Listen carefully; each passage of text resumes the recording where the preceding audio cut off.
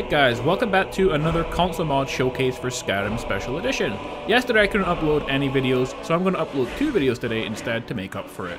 So we can cover all the better mods released from yesterday as well. Before we start guys, it's not worth adding to another video because we've gone over it already, but the mod Birds and Flocks is out for PS4. It's a revised version, so stuff has been taken out, but you can still get some birds in the game, which is cool. I thought it worth mentioning if you didn't already know. Also guys, I wanted to thank you for helping me reach 10 million views. I'm pretty sure 6 million of those views have come from Skyrim videos in the last few months, so really, really a big thank you to you guys. And also, I'm only a few thousand subs away from 60,000 subscribers as well, which is pretty mind-blowing. I will definitely hit 100k this year, which is super exciting, and so a really big thank you to you guys.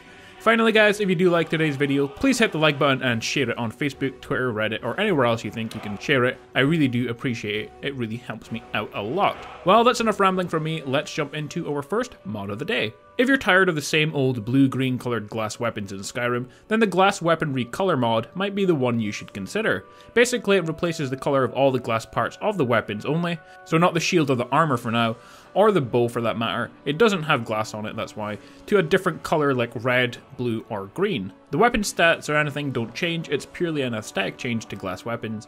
So if you're wanting to use them but prefer them to be a different colour, then this mod will do that. And that's pretty much it for this mod. Our next mod is called Assassin's Poisons for Xbox One. Basically what this mod does is adds books to the games that allow you to craft 6 potions at the cooking pot that can be applied to your weapons, or reverse pickpocketed, so placed into target's inventories. Once in the target's inventory, use the passive dehydration spell to make the target drink the potion.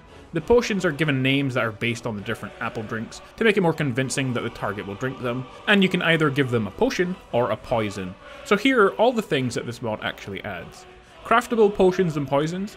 With the basic knowledge from the book Weak Potions Explained, you can make the weak potions that have a duration of, of 1 minute, and they include the Death Potion, aka Weak Apple Cider. This causes the target to die in 10 to 20 seconds. Powerless Poison, aka Weak Apple Wine, causes the target to lose all magicka in 10 to 20 seconds. Distilled Politics, which is weak apple beer, causes the target at any level to attack everything. And Petrification, the weak apple spirit, causes total paralysis at any level to any NPC. With the advanced knowledge from the book Notes on Poisons, you can make strong potions with a duration of 3 minutes instead, and the selected potions can be crafted after reading any book. So, Blessed Draft causes your weapons to harm undead with Holy Fire and banish Daedra for a duration of 2 minutes. Dwemer Oxidizer causes your weapon to slowly paralyze and disintegrate Dwemer automatons for a duration of 6 minutes. And if you're looking for any of the book locations, the location of the weak potions explained are by the alchemy craft benches in the White Phial in Windhelm, Grave Concoctions in Falkreath, Angeline's Aromatics in Solitude, and so on, so pretty much every alchemy store in the game. The Notes on Poisons book is located in the Dark Brotherhood Sanctuary by the Spider. So if you're looking for a cool mod that adds in some new potions and poisons in the game, and allows you to use them on unwary NPCs, then this is definitely a cool mod for you to download and try out.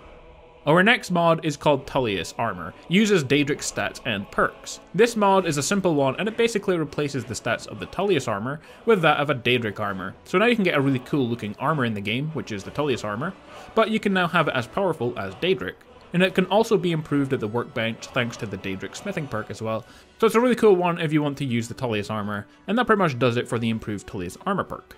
This is a cool mod called Concentrated Vanilla Magic. It was designed to make magic in the game feel less like a bow and arrow to attack and make it feel like it flows through you like the dark side of the force. So we can now take a look at the actual changes that this mod makes to the spells in game in order for that to happen. You get continuous fire destruction spells, firebolts, incineration, ice spikes, ice spears, chain lightning, lightning bolt, thunderbolt, spectral arrow, and includes fireball, blizzard, ignite, and freeze. So they are all now continuous spells. Destruction projectiles have gravity and fireball explosions, and may have a chance to knock down NPCs. One-handed master destruction spells. You can now use telekinesis on objects and NPCs, excluding mammoths, giants, and dragons, and ghosts of course. Wards are stronger and have repulsive effects on attack and hostile NPCs at close range, excluding mammoths, giants, dragons, and ghosts as well. Also not very effective against flying creatures. Flesh spell effect shaders only affect skin and look like oak, stone, etc. So now the flesh spell effects look more realistic. Spectral Arrow now uses bound arrow projectiles, also is silent now. Whirlwind Cloak protects you from fall damage while active. Also crouching, so sneaking, enables a vertical super jump. So that is all the changes that the mod makes to the game in order to try and make magic in game feel more flowy and natural, rather than like a weapon such as using a bow and arrow. After testing it out, I have to admit I do really like what this mod is trying to do. I guess in the end it's really a personal preference, so download and try it out for yourself to see if you prefer using magic this way. Okay, on to the next mod. Our next mod is all about trying to improve the damage and effectiveness of bow and arrows in the game. So in order to do this, the mod tries to improve several of the marksman perks in your skill tree, and we can take a look at exactly what they do. Overdraw fully leveled does 200% more damage versus 100% more damage that it does in vanilla. Hunter's Discipline gets 3 times more arrows, where it was 2 times before. Critical Shot gains 5% higher chance to do critical hits each level, and that's on top of the original 10%, and more critical damage at max level, so 60% instead of 50%. And finally, Bullseye now has 25% chance to paralyze the targets instead of just 15. I think this is a welcome addition to the game. As a bow user in a lot of my playthroughs, I always feel like the bow arrow should be a bit more powerful, so that I can kill things a bit easier, so I don't always have to rely on sneak attacks. Sometimes it's just fun to charge in headfirst and attack close range with your bow, not really the way it's supposed to be used, but everyone's different, and I do that kind of thing all the time. So making bows a bit more powerful works good for me for something like that, and I'm sure you can find other uses for having better marksman perks in game. That's just the reason why I like this mod. And that's pretty much it for the extra powerful marksman mod. So if you're looking for some more powerful bow and arrow weapons, then check this one out. Next up we have Dragon Ball Transformation Pack. In the last video we had the Dragon Ball Spell Pack. In this one we have the Dragon Ball Transformation Pack which allows you to go Super Saiyan. So we could take a look at exactly what the mod adds. Kaioken drains stamina, buffs damage and magicka regeneration. Health depletes if you run out of stamina, and this power can kill you if you're not careful with it, so make sure that you have enough stamina. You can go Super Saiyan, this drains magicka, buffs damage and damage resistance. Super Saiyan version 2 drains magicka quicker than Super Saiyan version 1, buffs damage and damage resistance by twice as much as it did in Super Saiyan 1. And finally, Super Saiyan 3 drains magicka and stamina both at a very fast rate, buffs damage and damage resistance far more than Super Saiyan level 2, but depletes health if you run out of both magicka and stamina. Unlike Kaioken though, Super Saiyan level 3 will not kill you, you'll revert to base form with 10 health left. All abilities have special effects tied to them, matching their aesthetic in the show, and Super Saiyan God will be added in the future as part of a quest. Super Saiyan Blue, so when you go the blue color, may or may not be added, it depends on whether the mod author can properly balance it, and all abilities can be gained by visiting the Warriors Memorial located south of Shimmermist Cave and northwest of Whiterun, and it's built into the side of the mountain. Kaioken is free, but the Super Saiyan forms can only be reached by praying at the shrine inside at a certain level, and it requires you to be level 30, and another 10 for the each of the higher Super Saiyan forms. So if you wanted to play Skyrim as a Super Saiyan, then it's pretty much possible now with this mod and the Spell Pack mod from the previous video, and we're just waiting on some cool Super Saiyan armors now to go with them all. Well, that pretty much covers it for the Dragon Ball Transformation Pack mod. Our next mod is called Blood Moon Werewolves, a new quest mod for PlayStation 4. Yes, guys, we have a new quest mod for PlayStation 4. Let's take a look at exactly what Blood Moon actually does. Blood Moon is a new quest mod that's about a war between werewolves and Skaal hunters. So it sounds cool so far. First off, we can start this quest several ways. Travel to Raven Rock and talk to the East Empire captain to start the Empire quest, or alternatively, you can visit the Skaal Village to start the Blood Moon quest, or you can go to several of the new locations that have been added around Solstheim. The quest is about unlocking the mystery of the Blood Moon Prophecy, and the mod adds to the game a new quest, obviously, new miscellaneous missions, some new locations, and new furniture and equipment related to the mission. You have to choose your side and prepare for a war between Skaal and the Werebeasts. Sounds like a lot of fun and definitely a mod you should consider trying out. The Grand Bathhouse is an awesome player home that is both a bathhouse and an arena, located just northwest of Shor's Watchtower on the east of the map. For features, this house is an arena, bathhouse, and player home with 5 levels of difficulty.